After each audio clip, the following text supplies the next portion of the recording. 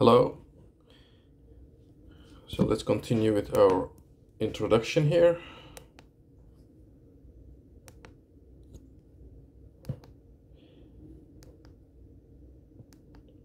So now we will look into the knowledge discovery process. So what you see here is a you know pretty commonly known data science project life cycle. It all starts with data collection, right? And then we will be busy with cleaning, preparing the data, and then we will explore the data, and then we will start creating different machine learning models.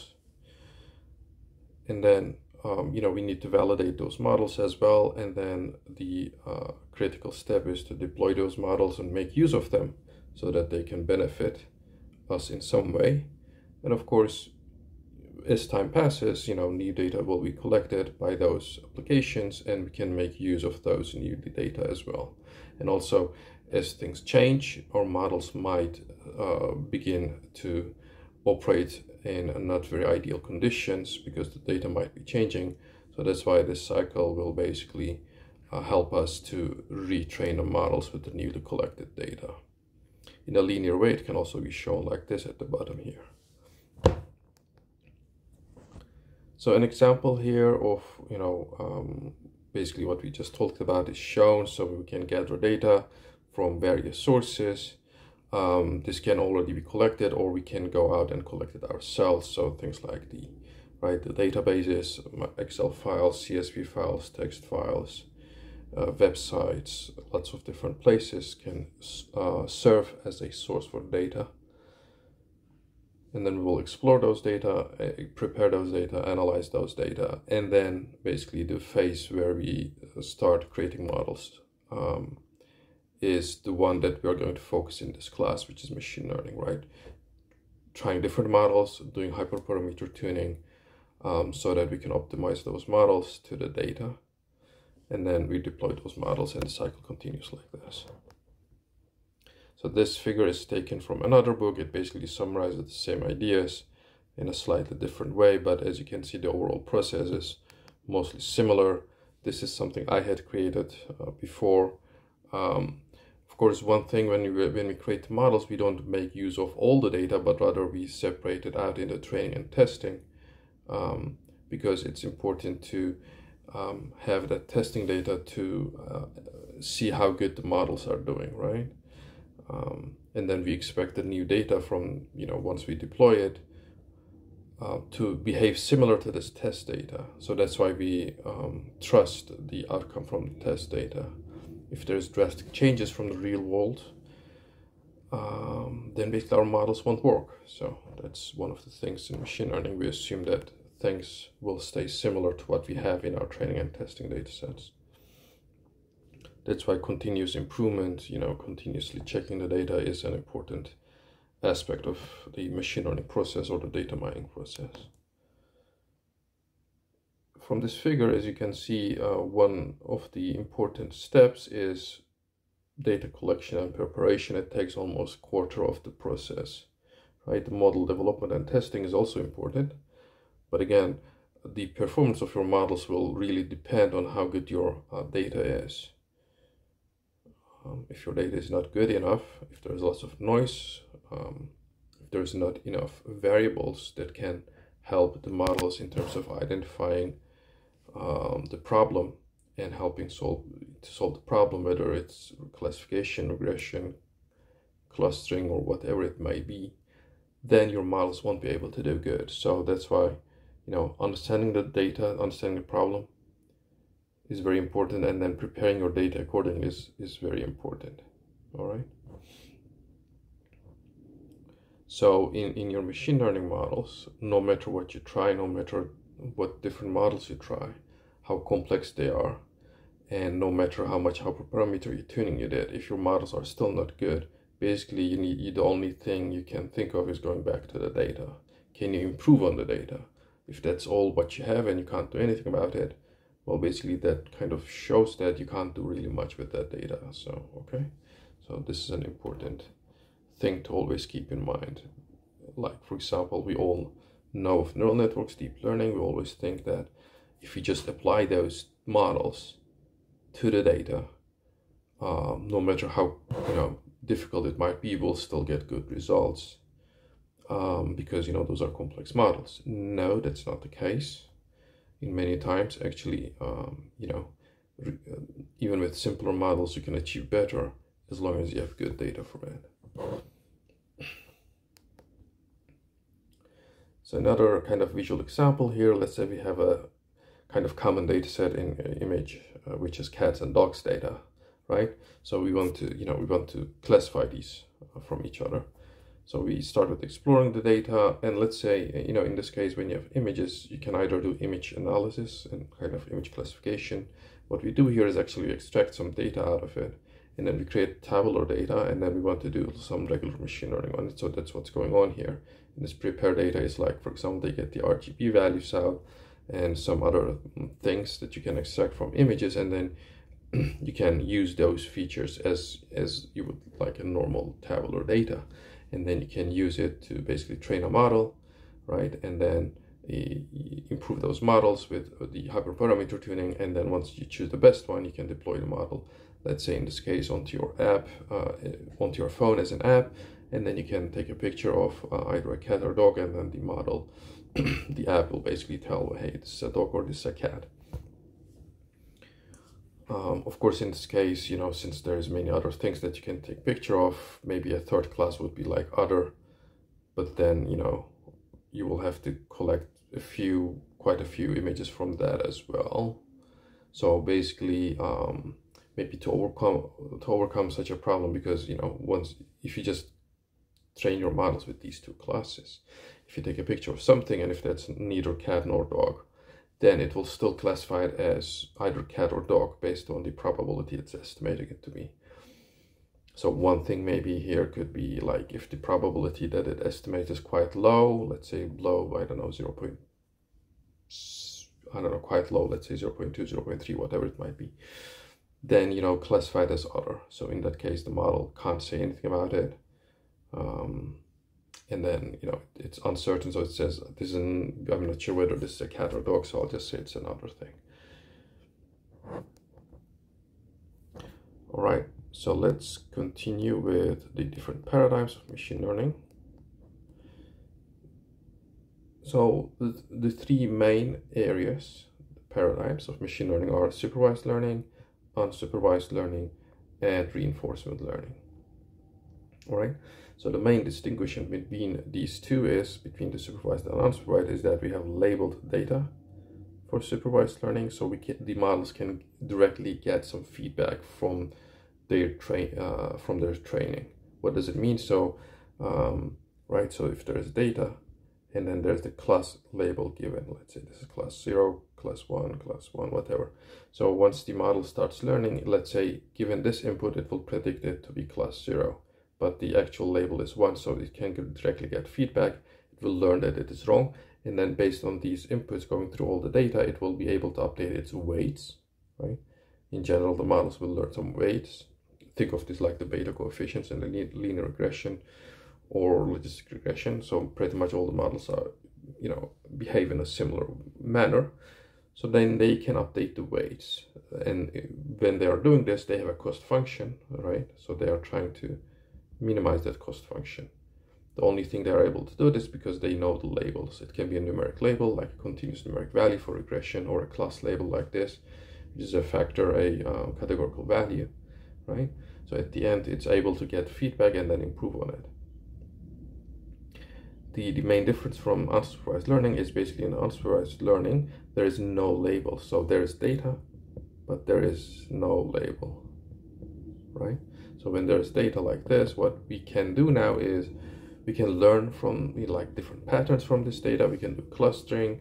We can see basically get some insights from the data, but that's pretty much it. There's no you know direct feedback or anything like that. So that's why it's a bit harder to do unsupervised learning.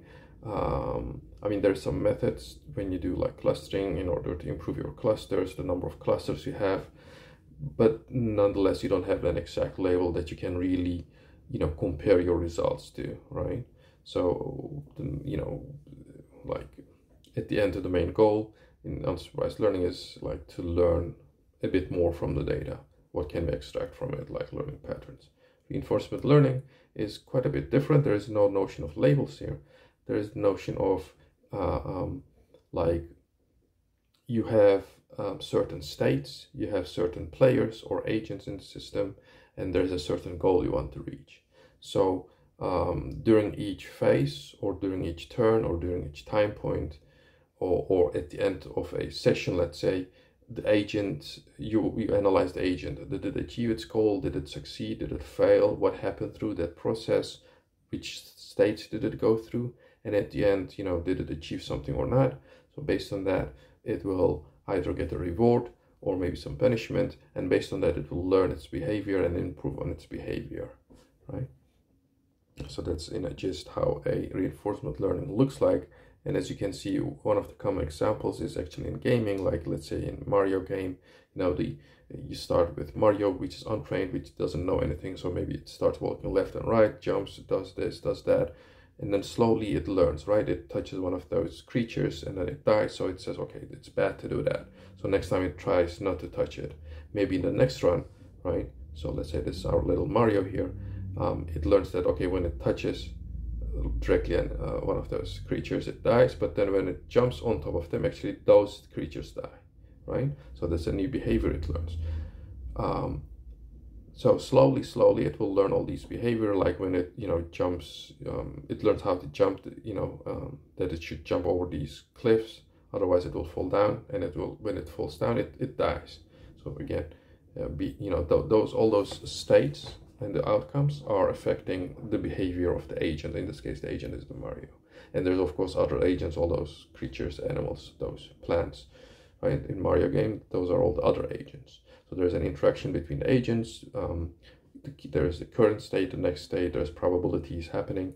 Um, so you can imagine after maybe thousand tries, maybe ten thousand tries, it will learn to pass through that first level, and then the next level it will learn some new things and after many many back and forth like this it will be able to you know improve on its behavior so in a way actually this if you think about it it's like how we learn as human beings right the baby uh, when they see a you know when they touch let's say a teapot it's hot it learns it cries it hurts and it learns not to touch it anymore.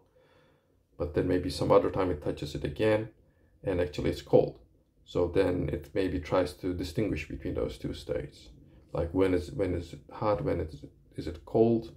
Um, but in general of course once it gets hurt the baby does not really wants to um, touch it hopefully uh, because uh, that's kind of a very bad memory for it um, you know in a way you know our life uh, is basically kind of a reinforcement learning right we have we make mistakes and then we try to not to do them again because um, that's what learning really means so in supervised learning, um, you see classification is one main example where we try to distinguish between two classes. And then regression is another one, another common approach, which is there is some numeric data. We want to fit a model through that best fits basically that data, like kind of a linear regression model. It's in this case, which goes through the data with minimal uh, um, error, right? So those are the two main areas. Uh, and in unsupervised learning, there's clustering, so we want to basically analyze our data and then see if there is some groups forming naturally. Kind of very similar to classification as you can see. But here we have the labels. So the lab from the labels we can learn a boundary that can separate the two classes or you know two or more classes. But in clustering there's no such label. So we just kind of look in a way of how the data is dispersed in an um, in a among the variables.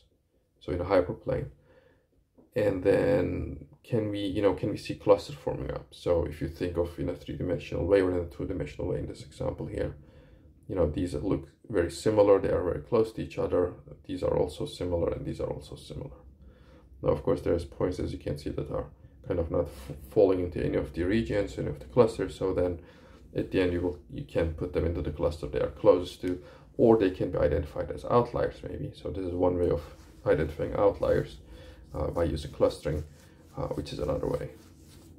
Density estimation, again, you look at the data, you know, if there is a much dense region in the data set where, where there's lots of points like this in the middle, then you know once you fit a model a density model on this it will probably look like this right so kind of the probability density estimation And another approach, uh, another field in unsupervised learning uh, that's commonly used is PCA, Principal Component Analysis, or dimensionality reduction. So that's also quite common. So just another example of supervised learning, cats and dogs, as we have seen before. So in this case, we are doing classification. Um, and unsupervised learning is for um, given here, and this is kind of to show that, um, I mean, this is pretty much valid in any data set but especially for unsupervised learning, it can be really very subjective because on the attributes you choose, you can really get very, very different clusters. So let's say in this case, you know, based on the occupation, there's two clusters forming up. Uh, based on the sex, there's two clusters forming up here.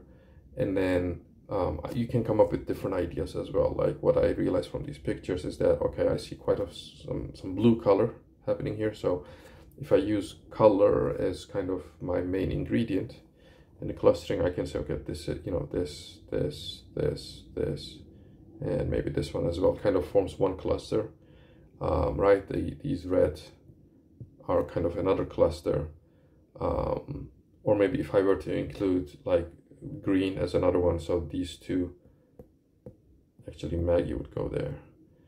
Um, right that's another cluster there because it kind of looks green but this will be kind of in between the blue and green because there's half blue half green on this so anyway you get the idea so based on the different inputs you use uh, you can get and uh, you know quite different clusters there the comparison between unsupervised and supervised shown here again so um, so the main thing again is about the label. So um, we can have the same data set, but in, in, the, in the supervised learning, we should have the labels. So let's say these are the pictures and somebody labeled it for us. But in unsupervised learning, we took the pictures, but nobody labeled it, so they have no labels yet. All right. Now, if the data is quite separable from each other, then you know both classification and clustering can achieve quite very similar results. So in this case, it's quite the pictures are quite distinct from each other. As you can see, the cats are quite distinct from parrot, both in shape, the color, and everything. So even if you didn't have any labels here, um, I think clustering would achieve a cluster with these two pictures and another cluster with these two pictures, right? Because they are quite distinct from each other. But of course, this is not many times the case.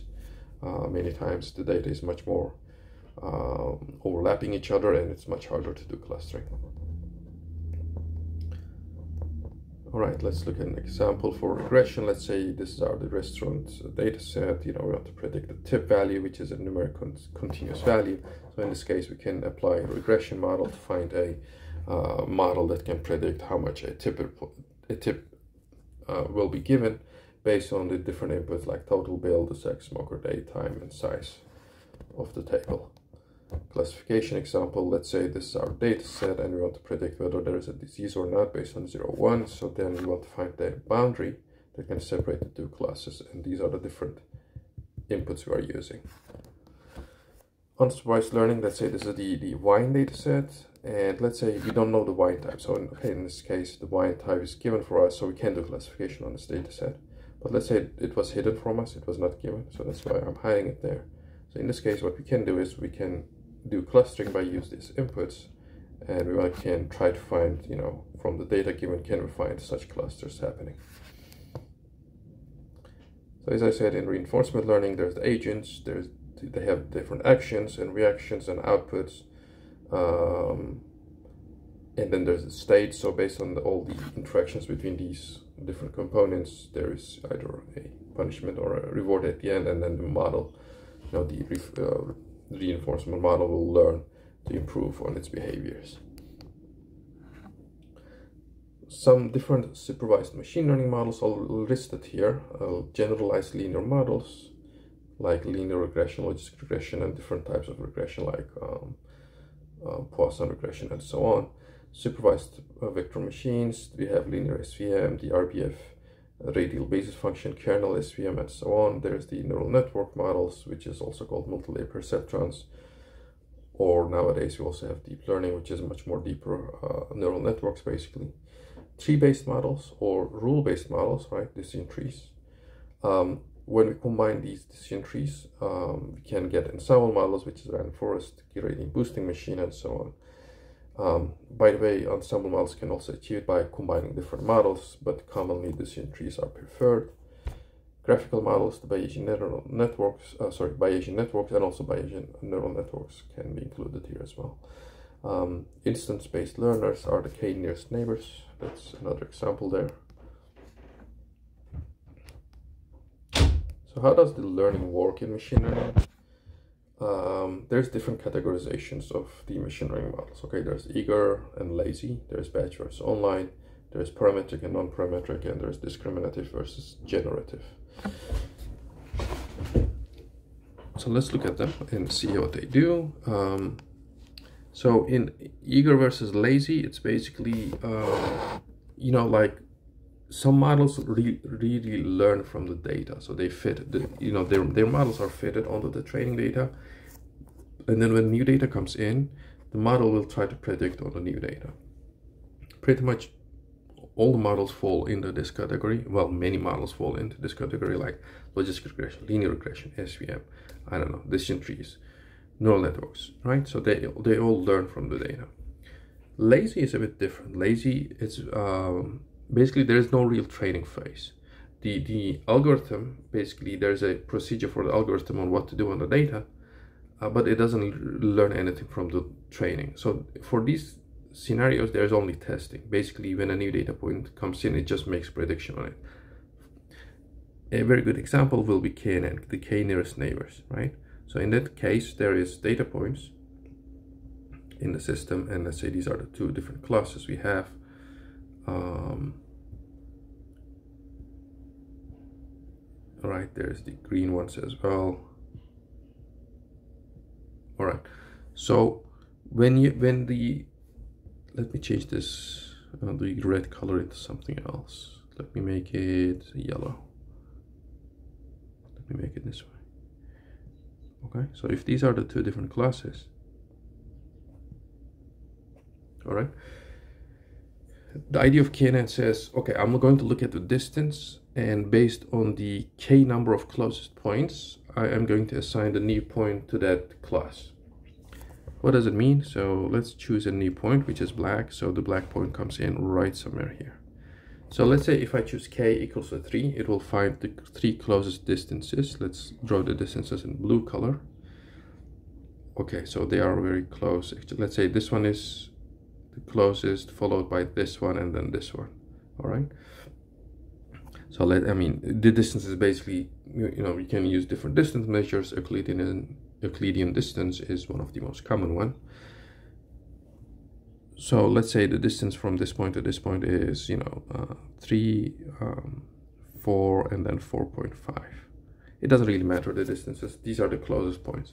So if I am choosing k equals to 3 that means I'm going to just look at the three closest neighbors. So that means then uh, there's two green and one yellow so then this black point will be classified as green because a uh, majority is green okay? Now the question is although i kind of visually kind of saw that these three points are closest to this black point in the middle which is the new point that i'm trying to classify how does the system know that these are the three closest points right? Because the the algorithm will not be able to look at the picture like this like we did and then decide on it. And um, another thing is that here I assume actually let me draw maybe the full thing x1 and x2 there's only two dimensions right in the data weight, this means there's only two columns. Right, and then there the corresponding labels are given, etc. So the, the, the as I said, there's no training as you can see, right? There's just the distance that's going to be measured. So when a new data point comes in, the distance from this black point to every single point in the system is calculated. So the distance from um, let's choose a pink color so the distance from this black point to the green point is calculated the distance from this black to the yellow is calculated the distance from this black to this green point is calculated and if you call this d1 d2 d3 d3 d4 you know every distance is calculated and then they're being ranked and then they're being ordered so let's say our blue distances were d5 I don't know, D8 and D9. So then based on the ranking, D9 is the closest one, D8, and then D5, right? So then what, what the next step is, okay, these are the closest three uh, points based on distances. What are their labels? This one is green. Um, this one is yellow. And this one is green. So that's why the calculate based on the um, majority votes, the point, the black point will be, uh, you know, uh, assign the green label. So that's a lazy algorithm, right? There's no training. When a new point comes in, calculate distances, rank them, and then choose the uh, first k values. All right. Uh, can I delete this? Oh, actually, when I did this, everything disappeared. That's good.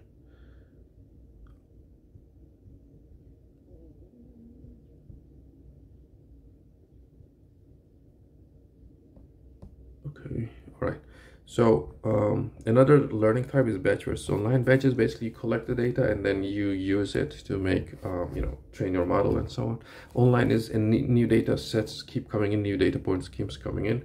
And then, you know, the model tries to learn from them and then those data points are discarded. So this is especially valid for very large data sources like, I don't know, Facebook, Twitter, and YouTube kind of things where there's lots of data coming in so you can't really collect them and make use of them i mean you can do it but after a while you know kind of the model will be a, we should be able to learn from the new coming data as is. So that's kind of what we mean by online learning there. Parametric versus non-parametric. So um, it's basically in parametric learning the models you know there's some certain set of parameters that the model should learn. So linear regression for example like we have we have beta 0 plus beta 1 times x1 plus beta 2 times x2 plus beta 3 times x3 plus and so on. So all these x's are the variables we have and the model tries to learn these parameters. So these are the parameters of the model and these are learned from the data, right? So there's some certain set of things that the model is trying to learn. In this case, for linear regression and logistic regression is the same thing. It tries to learn these beta values, which are which is the coefficients, right? Um,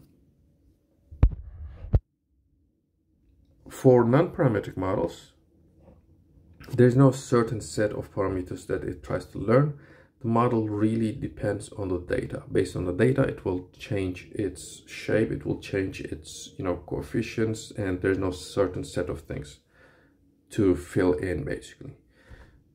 A good example for this would be decision trees. For example, in a decision tree, right, it starts from a node here, the parent node, and then starts asking different questions, and based on the um, answers, it goes into different branches it can grow and grow like this, right? When you change the data a little bit, this tree that looks like this now can look very different. So in the new case, it might look something like this. Let's say, let's create a smaller one just for an example here. So let's say it will stop here. Okay. So as you can see, the data based on it, you know, and when I say change, it might be just a few rows. You can take them out, you can add a few more rows or something. You just make some small changes to the data. Well, while on the, you know, while on the, you know, data number one, so D1, it was, the tree looked like this. On data number two, it will look like this. So as you can see, there is no certain number of parameters that it's learning. It's based on the data, it will change. Uh, the model will basically adapt to the data. So that's non-parametric models discriminative and generative model. So let's look at that. So the discriminative model is basically, you know, where the model is trying to learn a boundary between the two classes, as you can see here, right? So that's called discriminative model. So what we try to learn is py given x. Pretty much, you know, the regression models, the SVM models, logistic regression kind of tries to do this neural network models and so on. The generative model is a bit different. So what it does, it basically looks at the data, fits distributions on the different classes. And then from those distributions, it tries to, you know, create this boundary. And then when new data point comes in, it will classify based on that. So the generative model is a bit more complex because we first learn px given y, x is the data, y is the class. So we basically fit the distribution, which is this blue um, area here and the red area here. So two distributions are fit on the, the two classes here. And then based on that, we try to find py given x. So this py given x is directly found in discriminative model and generative model is found later. So when a new data point comes in, um, black point comes in here, discriminative model says this is my boundary. If it is to the left, anything to the left will be classified as blue. Anything to the right will be classified as red. So this is to the left, so then this point will be classified as blue. That's it. If it were here, it will be classified as red. That's it, that's pretty simple. Um, what does the, the uh, generative model do? So it first learns these distributions and then again uh, what it does it's basically when a new data point comes in let's say it's over here. Here it will first calculate the probability that it belongs to the blue class and it will also calculate the probability that this black point belongs to the red class okay? So as you can see since it's closer to the blue area where there's the blue color underneath it the probability of being blue probability of um, being blue given x given that data point will be maybe let's say 0. Point, um, maybe 4 well since probability let's say uh, let's let's make it 0 0.6 and then the probability of this point being red given x given the data which is the black point so this is our x here is 0 0.4 so then based on the probability value since this is larger it will be classified as blue okay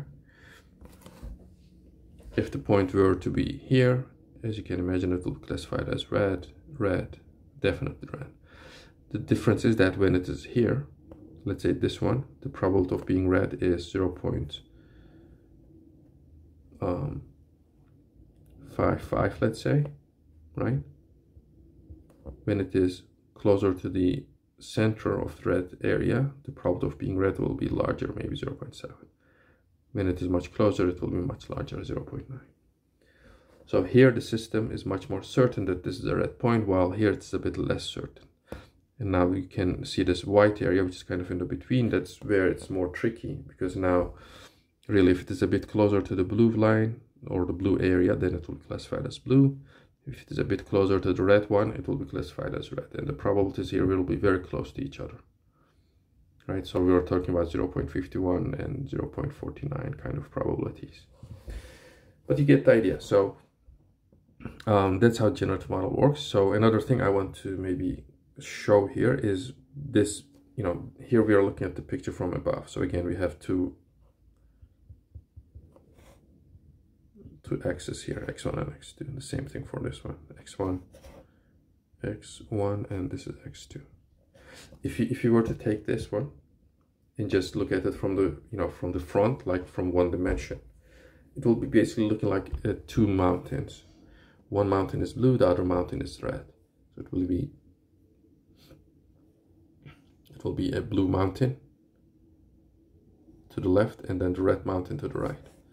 Okay uh, I need to if I make the colors better then the red on the right the blue one is on the left okay. Right. So this this point here which was towards the edge that's somewhere here maybe. So you can think of these points in this case. Maybe it's trees so there's a tree here. From the distance you see a tree. Is this a blue tree or a red tree? Well since the probability of being blue is higher so this will be classified as blue. This point which was at the very top of the red mountain is somewhere here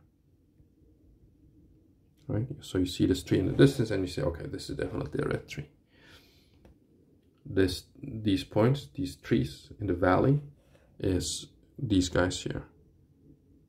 So if it is slightly closer to the blue, you say it's a blue tree. If it is slightly closer to the red one, so this will be red and this will be blue on the left. All right, I hope you get the idea. So let's move on. Oh, okay, wait, I need to collect this. All right. so how does an ML algorithm learn? Um, sorry.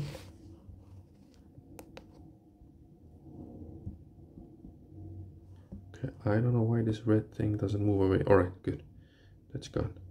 Um, okay. The so the algorithms they have um, you know the there's an optimization phase that happens behind um, behind the curtains that we don't see right? So there's a cost function or a loss function. And in general, the algorithms try to minimize the loss value. So this happens by using different optimization techniques and optimization algorithms. All right. Um, and then once the error is minimized, the model returned is basically the most, you know, the best fitted model to the data, right? That's what we use in the next phase. So during the training, this is what happens. So the model tries to learn from the data. What we mean by learning is it tries to fit onto the data the best way possible. There's also hyperparameters. Now these things are not learned by the data. So hyperparameters are given to the model. Okay. So for example, we just did an example of KNN. This K value, we can choose different K values. We can choose one, we can choose two, three, four, hundred, whatever number of neighbors we want to look at, right? But then which one is better? Is three better or five better or 10 better or 30 better, 50 better? We don't know. The model cannot learn this from the data. These are given values so we give, we will, what we will do is, um, what we mean by hyperparameter tuning is basically where we try different k values for KNN, and then we will look at the validation score or the you know of the model. So outside of the training, there will be the validation set or the testing set uh, in a way, and then we will look at how the performance is changing by using different k values, and then we will, we will, we will choose the k value that gives the least error right, on that validation set. So that's the meaning behind hyperparameter tuning. Again, these are not learned from the data. These are given by us, the user, and um, this basically constitutes the main thing of hyperparameter tuning. All right. The parameters of the model, like the beta coefficients, the beta 0, beta 1 that we have seen before, are the ones that are being learned by the model.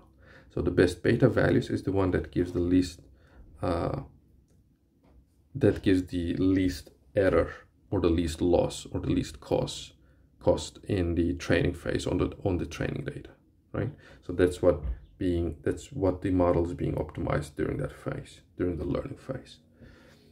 Right? The optimization objective means we want to minimize the error and the optimization algorithm is basically each algorithm uh, each of the models the machine learning techniques are using different optimization algorithms to achieve this goal. So this is the goal and it uses different algorithms to achieve that goal.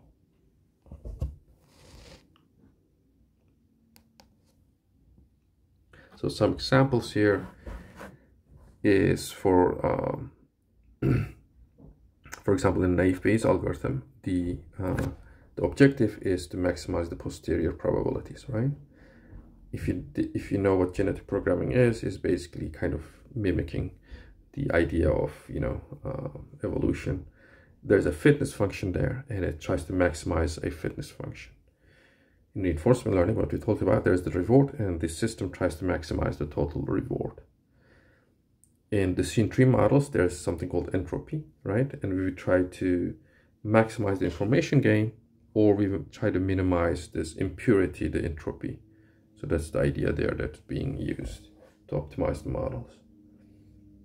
The, minima, uh, the mean squared error is uh, used in linear regression uh, or, or pretty much you know many of the regression models so the model tries to minimize this error right the cross entropy is used in logistic regression and neural networks and, it, and the model tries to minimize it so as you can see sometimes we minimize so when it is a cost a loss we try to minimize when it is a good thing we, we try to maximize so posterior probability we try to maximize reward we try to maximize, fitness we try to maximize, and so on. Or information gain we try to maximize, which is basically the opposite of entropy. They, you know, they, they are doing the same thing. So we either minimize the entropy or maximize the information gain. In support vector machines, it's minimizing the hinge loss. All right.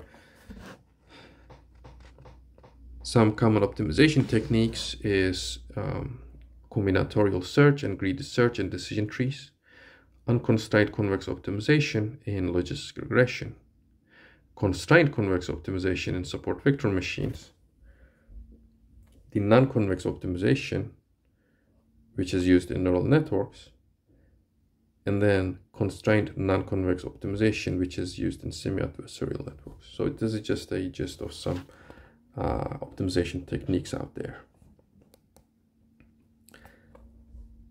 Let's look at an example. So we have a logistic regression model we have chosen. Let's say we have some data. There's the class labels and it's a class, uh, you know, we can do classification on it. So it should be categorical. So let's say this is class one, this is class zero, class one, class one, and so on. So we want to apply regression on this data, see if we can, you know, separate the two um, groups from each other, right? So we try to do that. Okay, so we chosen logistic regression. What is the optimization objective? It tries to minimize something. It tries to minimize the negative log likelihood or the binary cross entropy. So these are the same things, right? It tries to minimize uh, minimize that. So it, that's the optimization objective. Again, many times we use ready packages, so we don't really, want, you know, you know, bother about these things. But this is what it's being done when we say, okay, I trained the model, you know, the model has been trained on this data, this is what's happening there. So it tries to minimize the negative log likelihood or the binary cross entropy. And once the model is done with its training, right, we, we have a trained model now, a fitted model, it's ready to use. So what we do is we take another data set and then we can use this model on this new data set, right? and then you know it will make so the labels are not given of course in this case so it's like it, it's hidden from the model so it will make predictions. It will say okay this is class one this is class one this is class zero class zero and so on. And then we have the real labels too so they are ready uh, why? But we didn't show it to the model because it's going to make predictions as here and then we, we now we can compare the prediction to the real uh, labels we already have and then we can evaluate the model so that's what this is about this is done by us at the very end once the model training is finished. So then we can look at the misclassification error, the classification accuracy, the F1 score, um, recall, all kind of different metrics. We will look into them more in the future. Another example, linear regression. In this case, we are not classifying anymore. We are trying to fit a line, a, a model that best fits the data. So here the optimization objective we try to minimize is the mean squared error all right? And once the model training is done so let's say we have data points like this right? And then it finds this line. What we can do is we can take that line. So this is our line now. And then based on new inputs right? Um so this is x1 and this is the y by the way right so that's why we can uh, we can show this line like this so there's only one single input here so this is a simple linear regression so when, when this is, this is the input, our model will predict this is the value. When this is the input, our model will predict this as the value. When this is the input here, this is the prediction of the model. So basically all the predictions will lie on this line, right? That's what it means to have a linear regression model. So based on the different inputs, we get these predictions and but we also, as I said, we already have the labels, which we didn't show. So let's say the actual value of this point was this yellow point here. The actual value, the y value, right the output value of this input was over here and this one was over here so now these differences is basically the error of the model so that's the mean squared error we can calculate by these calculating the basically the distances from the prediction to the actual point which will give us the mean squared error or the r squared value which is another thing that shows how good the, the model fits these data points right there can you can calculate r squared for both the training and also for the validation as well. So that can be done for both. So anyway, so this is how we can evaluate how the model is doing. Again, um, this is done after the model training is done, okay? After the fitting is done. All right.